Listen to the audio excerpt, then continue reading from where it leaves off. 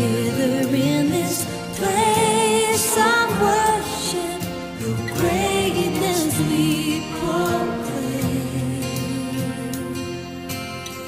We stand as one in giving you.